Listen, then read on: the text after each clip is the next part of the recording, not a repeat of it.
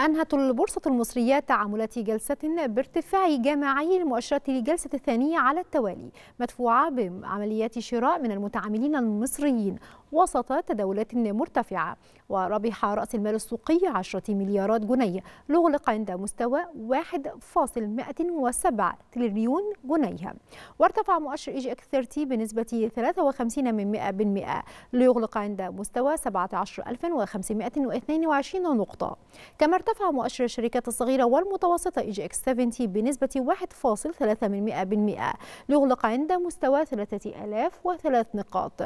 وصعد مؤشر EGX 100 بنسبة 1.1 من 100% ليغلق عند مستوى 4523 نقطة.